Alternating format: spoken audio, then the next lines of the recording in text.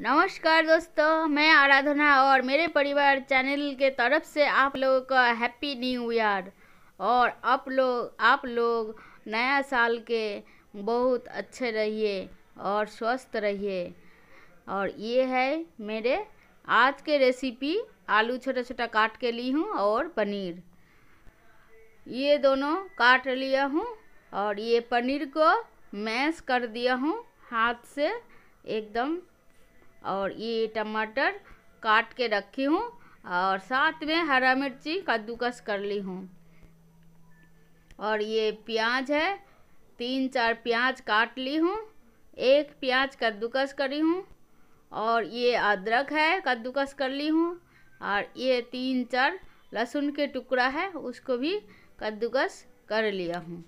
और ये मटर है, फ्रिज में रखी थी, फ्रिज में से निकाली हूँ इसको पानी से धो के रख दूँगी। और इधर कढ़ाई में तेल गरम हो गया है। इसमें मैं पनीर फ्राई कर लूँगी। हल्का फ्राई करूँगी, ज़्यादा लाल नहीं करूँगी।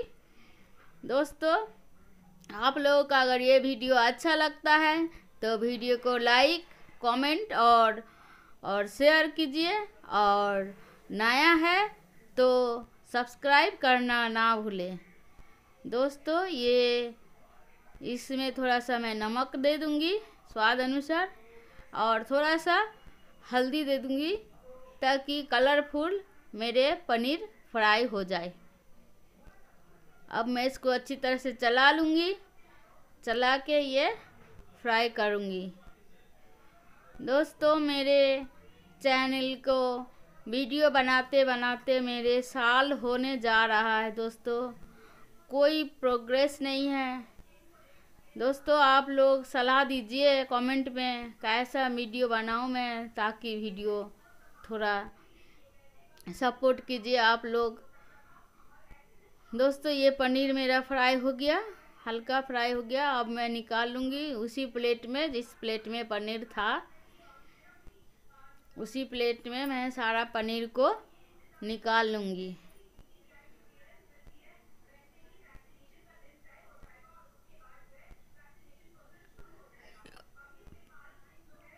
दोस्तों सारा पनीर मैंने निकाल लिया। अब इसी कढ़ाई में मैंने इसी कढ़ाई में तेल नहीं डालूँगी, इसी में आलू डाल के फ्राई कर लूँगी।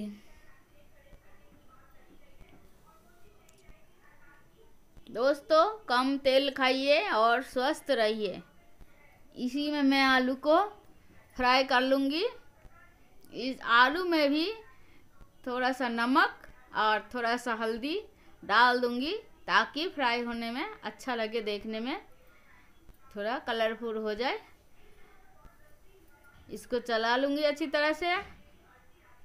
और नमक डालने से नमक भी इसमें आ जाता है, नमक का स्वाद टेस्ट आ जाता है। इसलिए नमक डाल के, हल्दी डाल के थोड़ा फ्राई करती हूँ।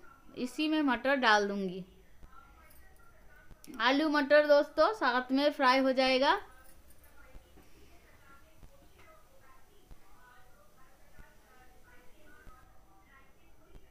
अब इसी के ऊपर से मैं थोड़ा सा कच्चा प्याज फ्राई कर लूँगी। दोस्तों, इसमें टेस्ट बहुत अच्छा आता है। आप लोग एक बार बना के देखिएगा मेरे तरीका से।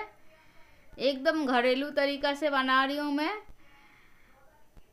बहुत कम तेल मसाला से बना रही हूँ, बहुत टेस्टी लगेगा, बना के देखिएगा। अब मेरे आलू, मटर फ्राई हो गया।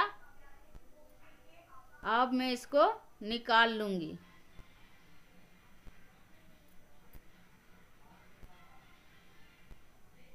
दोस्तों, इसी थाली में रखा हुआ था आलू, उसी थाली में मैं निकाली हूँ। अब थोड़ा सा तेल दे के कढ़ाई में ये सौंप है, थोड़ा जीरा है तेजपत्ता है और दो इलायची है। तो इलायची को फोड़ लिया हूँ, फोड़ के डाल दिया। जब ये तड़कने लग जाएगा तो इसमें मैं प्याज डाल दूँगी। दोस्तों, ये लहसुन है थोड़ा सा इसको भी डाल दिया और ये प्याज डाल दिया।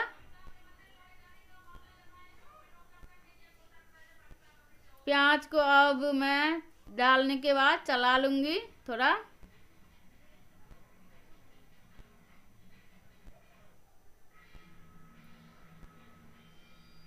दोस्तों प्याज को अच्छी तरह से गोल्डन ब्राउन होने तक फ्राई करूँगी। ये जो कद्दूकस कर रखी थी प्याज, उसको भी मैंने डाल दिया। वो बाद में डाली क्योंकि वो कद्दूकस किया हुआ है, वो जल्दी ला, वो फ्राई हो जाएगा। अब मेरे प्याज फ्राई हो गया है, देख रहे हैं आप लोग, गोल्डन ब्राउन हो गया है। इसी में मैं थोड़ा लाल मिर्च पाउडर डाल दूँगी। दोस्तों, मैं लाल मिर्च पाउडर तो सब्ज़ी में नहीं डालती हूँ, लेकिन वीडियो बनाने के लिए डाल रही हूँ ताकि सब्ज़ी थोड़ा देखने में अच्छा लगे। लाल मिर्च थोड़ा हल्दी डाल दिया एक चम्मच। दोनों को मैं चला लूँगी, तेल में मिक्स कर लूँगी प्याज के साथ। और उसके बाद मैंने इसमें डालूँगी अदरक कद्दूकस करा हुआ था, उसको डाल दिया। डालने के बाद अच्छी तरह से चला लिया। मिक्स कर लूँगी, थोड़ा पानी डाल दूँगी ताकि सूखा मसाला जो डाल रही हूँ वो जले ना। थोड़ा सा पानी डाल के चला लूँगी। थोड़ा सा पकने दूँगी, उसके बाद मैं धनिया पाउडर डाल रही हूँ। धनिया पाउडर एक चम्मच डाल दिया, उसके बाद हल्दी पाउडर डाल दिया एक चम्मच। और ये थोड़ा जीरा जीरा पाउडर है, आधा चम्मच डाल दिया। अब इसको ये थोड़ा सा धनिया पाउडर और थोड़ा सा डाल दिया। डेढ़ चम्मच धनिया पाउडर डाली हूँ, दोनों मिला के। अब इसको मिक्स कर लूँगी अच्छी तरह से। ये मसाला दोस्तों फ्राई हो गया है, देख रहे हैं आप, साइड से तेल छोड़ रहा है। अब जो फ्राई किया हुआ मटर और आलू था, उसको डाल दिया। डालने के बाद अच्छी तरह से चला लूँगी। दोस्तों, अच्छी तरह से चला चला लूँगी ताकि अच्छी तरह से मसाला सारा आलू और मटर में मिक्स हो जाए। थोड़ा देर बाद, पाँच मिनट बाद, ये जो टमाटर और हरी मिर्ची रखी थी, उसको डाल दिया। डालने के बाद मिक्स कर लूँगी। दोस्तों, टमाटर, तीन टमाटर था मीडियम साइज़ का। आप अपने हिसाब से डाल सकते हैं टमाटर, मिर्ची।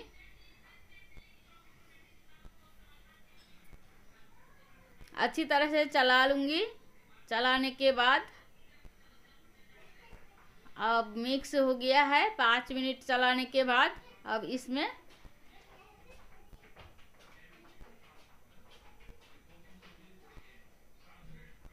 नमक डाल दूँगी स्वाद अनुसार।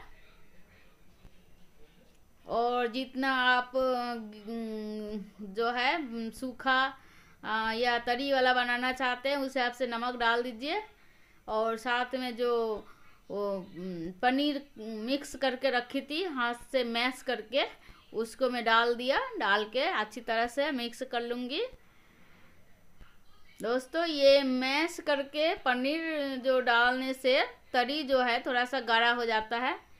अब मैं पानी डाल दूँगी। पानी डाल के चला लूँगी अच्छी तरह से। मिक्स करके। दोस्तों, अब इसको थोड़ी देर पकने दूँगी। ढक दूँगी। थोड़ी देर बाद देखिए दोस्तों, कितना अच्छा सब्ज़ी देखने में भी कितना स्वादिष्ट और सुंदर लग रहा है। देख के ही लग रहा है कितना अच्छा बना है सब्ज़ी। आलू देखिए दोस्तों, थोड़ा सा टाइट है आलू, थोड़ा सीजा नहीं है अभी। अब थोड़ा पकने दूँगी इसको। ये है कस्तूरी। कस्तूरी मेथी, इसको भी डाल दिया। इसको डाल के मैं मिक्स कर लूँगी अच्छी तरह से। अब थोड़ा सा पानी और डाल दिया।